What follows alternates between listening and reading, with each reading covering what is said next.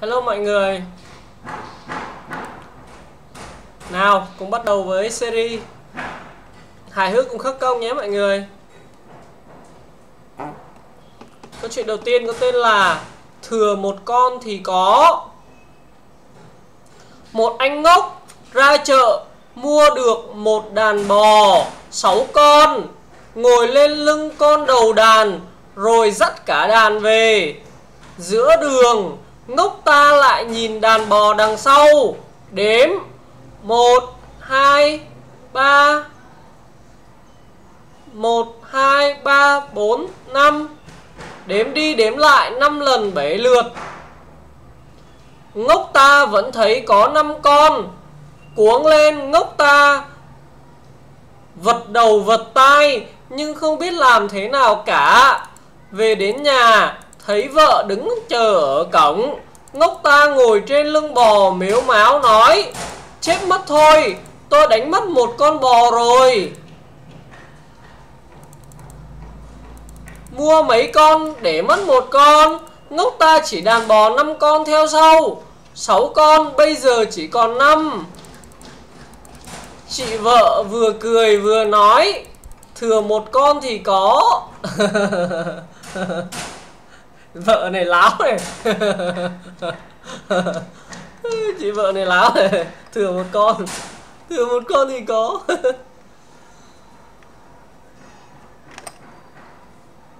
Câu chuyện có tên là Lấy chồng rồi có khác. Bà mẹ đến thăm cô con gái mới lấy chồng. Nhà con tôi đây ư. Gọn gàng, Ngăn nắp thế. Lấy chồng có khác. Khác nhiều chứ. Anh ấy còn chịu khó hơn cả mẹ cơ. Vâng chúc cô, chúc mừng cô gái đã lấy được một người chồng chịu khó. Không phải làm gì. Mừng quá, làm gì nữa. Câu chuyện có tên là Chiếm hết chỗ. Một người ăn mày, Hom hem, Rách rưới, Đến cửa con nhà giàu xin ăn. Người nhà giàu không cho, Lại còn mắng. Bước ngay, Rõ trông như người dưới địa ngục mới lên ấy. Người ăn mày nghe nói, Vội vã trả lời. Phải, Tôi ở dưới địa ngục lên đấy. Người giàu nói, Đã xuống địa ngục, Sao không ở hẳn dưới ấy? Còn lên đây làm gì cho bẩn mắt? Không ở được nên mới phải lên. Ở dưới ấy, Các nhà giàu chiếm hết chỗ rồi. Hay, Chuẩn. Phản bác rất là hay.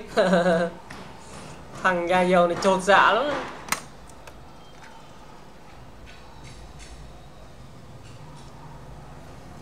Câu chuyện có tên là Vẫn còn may. Trên đường đi học về Y hỏi L. Y, Nghe đồn hôm qua mày đến thăm nàng, Bị chó nhà nàng cắn vào chân hả? L Ừ nhưng vẫn còn may. Y, Cắn vào chân mà may. L, May chứ sao? Nếu nó cắn vào đôi giày Thì tiêu tao rồi, Đôi giày tao mượn thằng T. Y, Hết chỗ nói. May thật, Đi tấn gái mượn giày. May nó không cắn đi giày.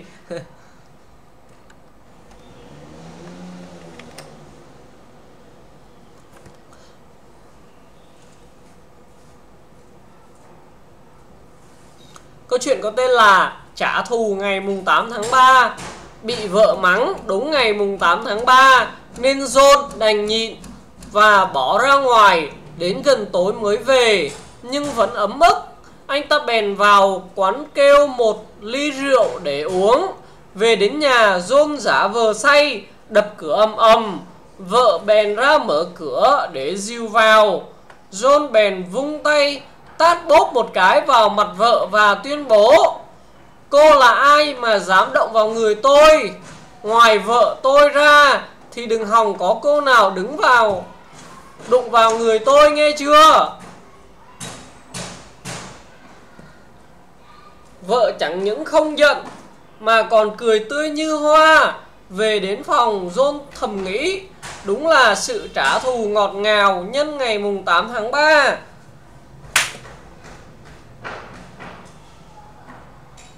hóa kiếp cho con mũi.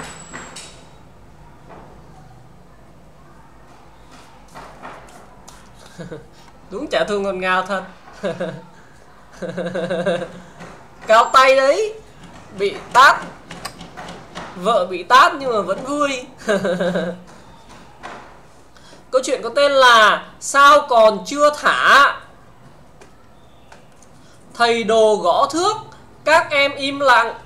Im lặng đến độ nghe thấy tiếng ruồi bay cho tôi. Tất cả nghe lời thầy. Không dám nhúc nhích bỗng quảnh lên tiếng. Dạ sao nãy giờ thầy còn chưa thả con ruồi ra? Không nghe thấy tiếng ruồi đâu cả.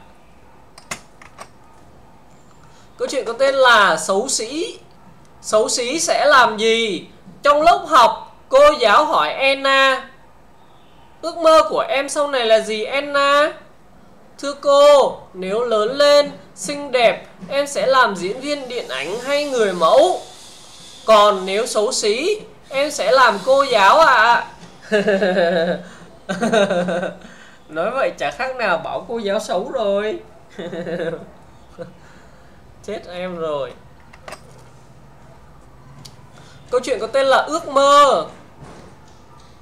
Quỳnh, sao bà hay vẽ vậy? Mắm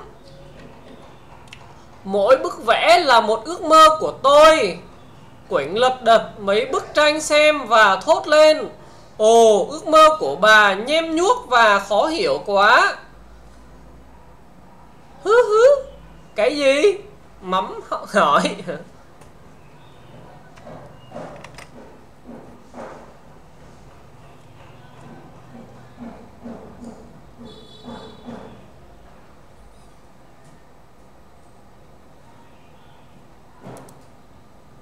Câu chuyện có tên là Gọi trời. Cậu biết không? Hôm qua mẹ tớ phải gọi trời xuống đó. Tí nói, Tèo, Mẹ cậu gọi thế nào tí? Tí trả lời, Mẹ tớ gọi, Trời ơi, Xuống mà xem thằng tí nhà tôi, Nó học dốt như vậy nè. Tèo, Trời. Câu chuyện có tên là Coi chừng bức tường. Nhà nọ có hai vợ chồng. Chẳng may bà vợ bị chết sớm. Sau khi tang lễ được tiến hành tại nhà, những người phu khuân hom, khuân hòm kia khiêng quan tài đi ra nghĩa trang. Trên đường đi, họ đã vô tình để quan tài đụng vào tường. Sau đó họ nghe thấy một tiếng rên yếu ớt phát ra từ trong quan tài họ mở nó ra và nhận thấy bà vợ đã sống lại. Bà vợ sống được thêm 10 năm nữa, rồi qua đời. Buổi lễ tang cũng diễn ra như lần trước và khi những phu khuân hòm đang chuẩn bị khiêng quan tài đi, ông chồng khóc thét lên, coi chừng cái bức tường đó. Ông chồng chịu thêm 10 năm đau khổ. Bây giờ lần này cẩn thận hơn rồi, không cho bà vợ sống lại nữa.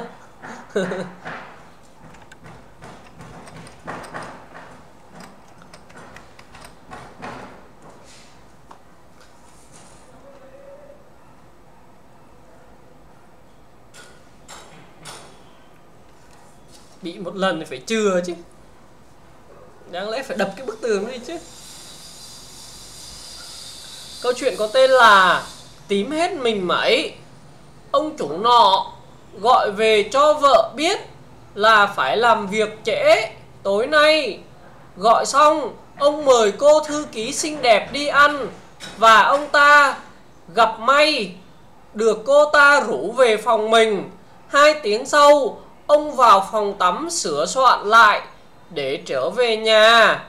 Bỗng ông ta hoảng hồn vì thấy trên cổ mình có một vết cắn bầm do cô thư ký để lại. Ông hoang mang vì không biết phải nói sao nếu bị vợ hỏi. Ông mở cửa vào nhà và con béc dê nhảy trồm lên mừng chủ. Ông nhanh trí, vội vàng ôm lấy con chó làm bộ vật lộn với nó, rồi la toáng lên và chạy vào phòng. Ông ta một tay lấy ôm cổ ra, vẻ đau đớn, nói với vợ, ra vẻ đau đớn, nói với vợ. Em xem nè, con chó quỷ này cắn bầm cổ anh này. Vợ ông ta vội phanh áo mình ra, phân bua liền. Anh coi đó, nó cũng cắn tím bầm mình mấy em này. Vâng thưa các bạn là một pha cắm sừng của cả hai, rất là hay. Ôi câu chuyện có tên là tím hết mình mãi. Hay, câu chuyện hay. Anh xem này, nó cũng cắn hết mình mấy em đi này. Câu chuyện có tên là lời khuyên tốt. Tại sao ông lại giết vợ mình? Bởi vì lúc nào bà ấy cũng lên giọng khuyên bảo tôi. Hy vọng đó đều là những lời khuyên tốt. Đúng vậy, lần cuối cùng bà ấy đã khuyên tôi. Nếu thực sự muốn yên tĩnh, ông hãy giết tôi đi. Vâng và ông ấy đã làm thật các bạn ạ. Ôi giời ơi.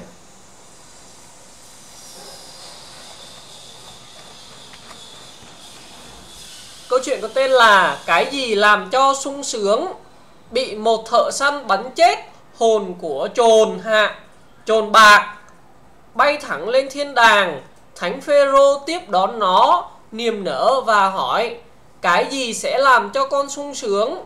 Con vật bé nhỏ trả lời, Con muốn có một cái áo Làm bằng da phụ nữ. câu chuyện rất là thâm đấy các bạn.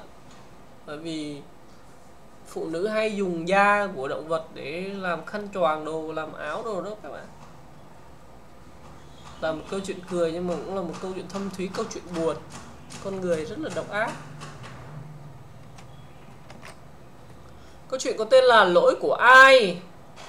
Bà mẹ kinh hồn bạt vía khi nghe cậu con trai cưng tuyên bố đòi mẹ lo cho cậu đính hôn lần thứ 9 Trời, mẹ không thể tưởng tượng nổi Con lại đính hôn nhiều đến thế. Trước sau con đã có tới 9 vị hôn thê cơ à?